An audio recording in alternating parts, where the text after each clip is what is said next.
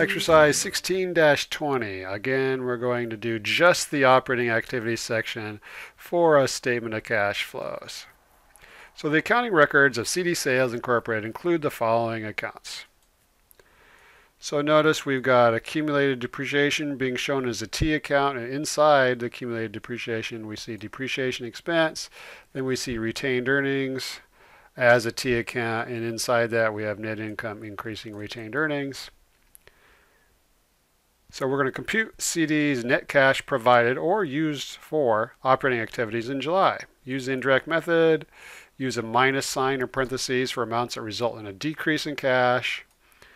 And if a box is not used, leave it empty. So we always start with net income for the operating activity section. And we get income, net income over here from retained earnings, copy and paste. And don't forget our cheat sheet available on Canvas.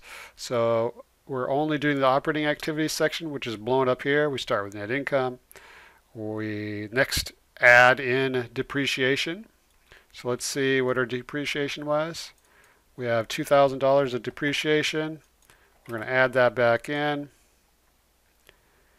Let's see. There's depreciation expense. And if you forgot why we're adding back in depreciation, you go back and watch this video. But basically, we're adding it back in because depreciation is not, does not affect cash, but it reduced net income. So we have to back that out. How do you back out an expense? You add it back in. Next, according to our cheat sheet, we need to look for gains and losses on long-term assets and then back those out. Looking over here, I don't see any information about gains or losses on long-term assets.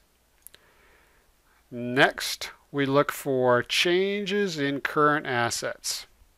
So let's see if we can analyze these. So here's our first current asset other than cash.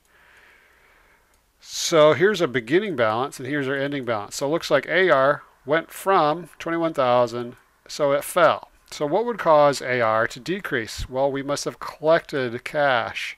So we got decrease in AR. So if we collected cash, cash went up, and the amount is the difference between 21,000 and 17,500. So decrease in AR is 3,500. Next we got inventory. Which way did inventory go? Inventory went up from 20 to 30.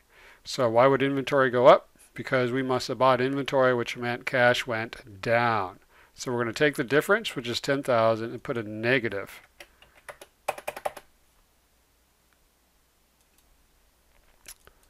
And that is an increase in inventory.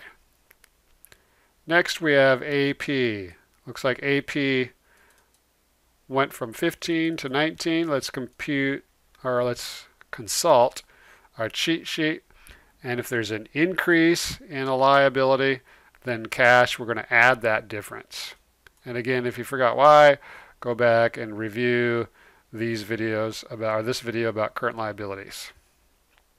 Oh, I guess it's right here, sorry. So the difference between this and this is 4,000. And that is an increase in AP. And we add those according to our cheat sheet. And then we're done. We've analyzed all the info here. So we're going to take 2,000, add 3,500, subtract 10,000, add 4,000, and that gives us a negative 500. So then we're going to take 50,000, subtract 500, and we get 49,000. 49,500 and this is positive. So our operating activities, in other words, the main part of our business, buying and selling, generated positive $49,500 of cash for this company. And that is a positive sign. And that's it.